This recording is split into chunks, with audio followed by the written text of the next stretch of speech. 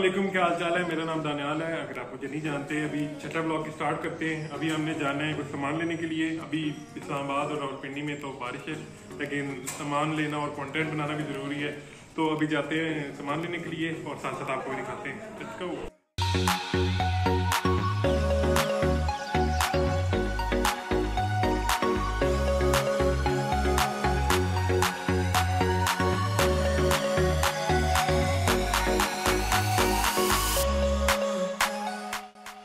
The saloon in the world तो भाई जी हम जा रहे हैं लेयर आपको पहले लेयर दिखाते हैं अंदर से।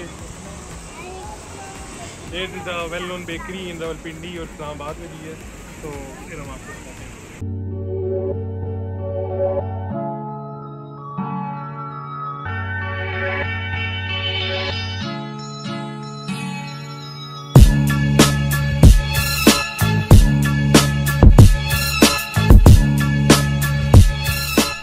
अस्सलाम वालेकुम आप भी सोच रहे होंगे कि एकदम ये किचन में किधर आ गया तो हमने एंडिंग की थी अपनी लेयर्स पे।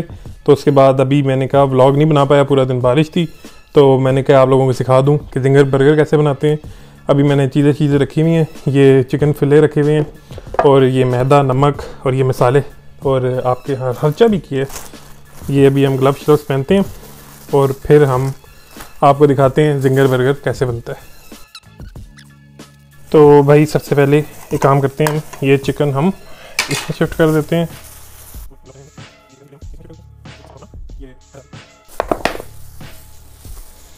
मैदा दिस मैदा इज़ थोड़ा सा डालेंगे। नमक डालेंगे। चम्मच लेके आया था भाई मैं। पहली वीडियो है कुकिंग की।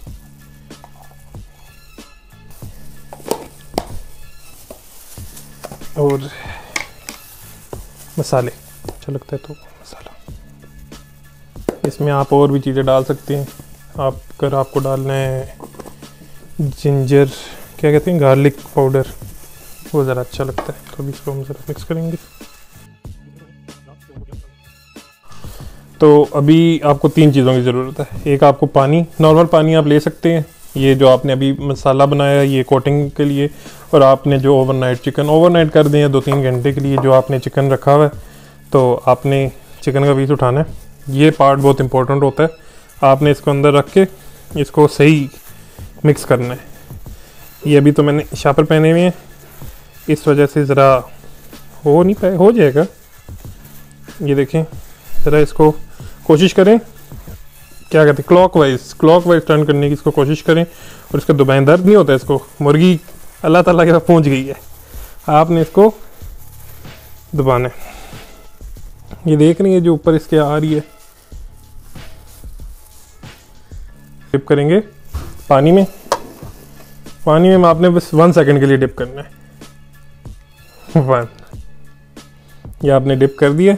अब वापस इसको दोबारा से इसको एक दफ़ा दोबारा कपड़े पहनाएँगे इसको मैदे के। फिर इसको कोशिश करें, वही जो हमने पहले किया था। क्लॉक वाइज टर्न कर रहे हैं। तो अब इसी तरह बाकियों को भी आपने करना है सारा।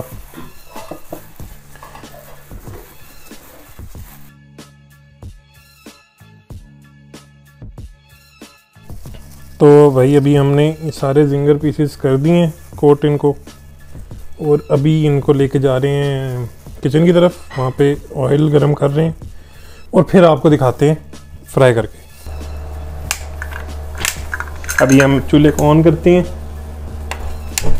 चूल्हा हमारा ऑन हो चुका है और अभी इसका वेट करेंगे, गर्म हो जाए, फिर हम जिगर को अंदर डालेंगे। तो अभी ऑयल हमारा गर्म हो गया। अभी हमने अपना जो कोटिंग थी वो पकड़नी है और इसको आराम से अंदर डालनी है। और इसको छेड़ना नहीं है गाइस छेड़ने का ये मतलब नहीं है, आपने आँखें शांखें मारनी है। छेड़ने का मतलब है इसको चमचा नहीं मारना इसको जो क्रम्स बनने हैं, वो इसके बनने दें। आराम से। अभी जो हमने चिकन डाला है, उसको अभी हम डाल देते हैं। ये दो तीन मिनट के लिए या चार मिनट के लिए बताएँगे हम आपको कब उठाना है। जब फील हो जाता है कि अंदर से पक गई है तो बस इसको क्रिस्पीनेस रह गई है तो फिर हम उठा देंगे। तो अभी हमने बंस भी गर्म करनी है। ये चूल्हा, ये तो मुझे लगता है अच्छा नहीं। ये भी ऑन कर दिया हमने। अभी हम अपने बन, हमने ऑयलिंग की हुई है चूल्हे पे। घी घी से इसको आप किया करें जी। और चिकन को भी देख लेते हैं हम अपने। माशाल्लाह के को भूल जाएँगे आप ये खाने के बाद।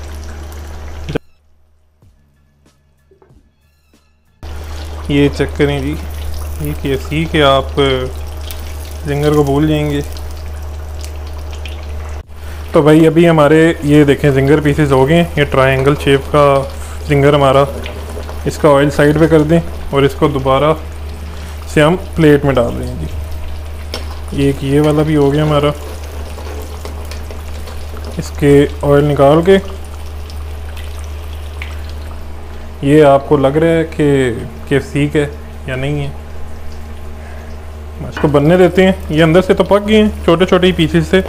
इसको बेशक आप खुला छोड़ दें या खुला गली में नहीं छोड़ना, आपने खुला बगैर ढाम पे इसको रख दें। ठीक है? तो अभी बस हमने असेंबल करना है, ये चेक करें हमारा।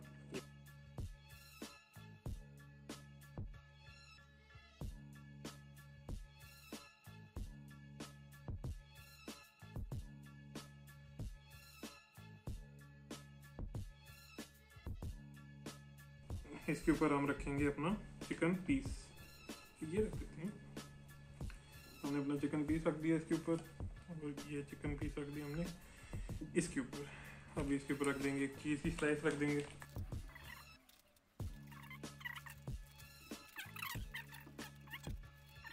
अब बस हमने इसको कवर करना है पन को। और ये आपका फिंगर बर्गर तैयार।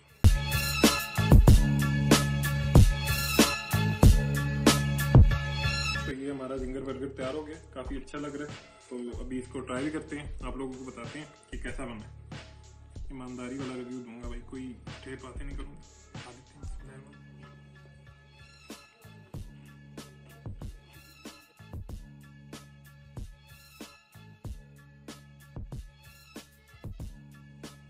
भैजान इतना मैं आपको बताता हूँ। ये बनाने के बाद और ये खाने के बाद ना आप ना कभी KFC जाएँगे ना कभी आप मैकडोनल्ड जाएँगे। बेस्ट होम मेड के बर्गर ये हमारी तरफ़ से, इसको मिल गया ना। तो आज की वीडियो के लिए इतना काफ़ी है। मुझे लगता नहीं हम बाहर जाएँगे अब। तो वीडियो हम यहाँ पे एंड करते हैं। तो गाइज़ ये था आज का व्लॉग उम्मीद करता हूँ आपको पसंद आया होगा, क्योंकि मुझे तो काफ़ी मज़ा आया आज का दिन। और अभी बस इसको एडिट करना है। और I do keep seeing myself improving day by day and that is all thanks to अल्लाह क्योंकि मैंने जब स्टार्ट की थी व्लॉगिंग मुझे सही से समझ भी नहीं आ रही थी कि क्या हो रहा है, क्या मतलब कैसे बोलना है। और अब मैं बोल सकता हूँ, काफ़ी कैमरे से बात कर सकता हूँ। बेशक तीसरे टेक में करके बात कर लूँ, पर बात हो जाती है। So there is a quote I want share with you guys that is I don't know किसका कोट है मैं नीचे लिख दूँगा कि the quote is artist will die but the art won't तो मतलब आर्टिस्ट मर जाएगा, पर जो आर्ट जो बना के जाएगा, वो हमेशा ज़िंदा रहती है। तो दिस इज़ माई आर्ट और यही इसको परफेक्ट करना है। बिफोर परफेक्ट नहीं हूँ, अभी इम्प्रूव करूँ डे बाई डे तो इन मिलते हैं अगली वीडियो में आपके साथ। और तब तक के लिए अल्लाह हाफिज़।